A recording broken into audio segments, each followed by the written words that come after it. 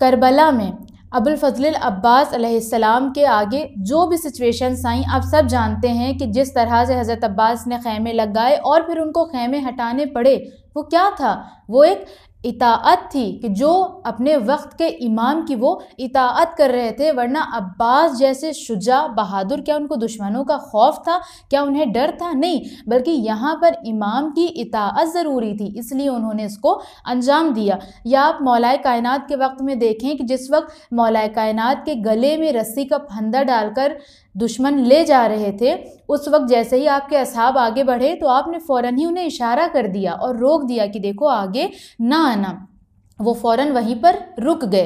वो चाहते तो आगे बढ़ जाते, कहते, आप ये कैसी बात कर रहे हैं? आपको हमारी नज़रों के सामने से लेकर जा रहे हैं और आप हमें खामोश रहने के लिए कह रहे हैं। लेकिन वो समझते थे, वो असहाब अली थे, वो असल असहाब थे, वो असल चाहने वाले थे मौला के। वो जानते थे कि अक्ल इसी चीज़ का नाम है कि हुक्म इलाही की और हुक्म इमाम की पाबंदी की जाए। अगर इमाम कहे, उठ जाओ तो उठ जाओ। लेकिन अगर इमाम कह दे कि बैठ जाओ तो हिलो ना और अपनी जगह पर बैठे रहो।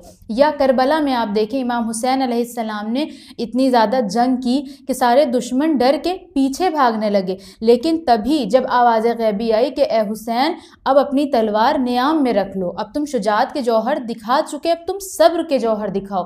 तो इमाम हुसैन ने वहाँ पर सब्र दिखाया। अब इमाम ने अपनी तरफ़ से कोई हमला नहीं किया और शायद यही वजह थी कि फिर परवरदिगार आलम ने आपको नफ्स मुतमना के ताज से नवाज़ दिया। लिहाजा इंसान के लिए ज़रूरी ये है कि वो इबादत और इतात के फ़र्क को समझे और ये फ़र्क हमें उस वक्त ही नज़र आएगा, उस वक्त ही समझ आएगा कि जब हम अपनी अक्लो शूर के साथ दीन को समझेंगे, जब हम ऑथेंटिक बुक्स का मुताल करेंगे, किसी ऑथेंटिक आलिम से उसके बारे में सवाल करेंगे, सही आलिम तक अप्रोच करेंगे, उससे सही मालूम हासिल करेंगे कुरान की तफसीर पढ़ेंगे, तब हमारे पास हकीकी इल्म आएगा। इधर उधर से किसी को भी बैठ कर सुन सुन लेना, ये हमारे इल्म में कभी भी इजाफ़ा नहीं कर सकता है।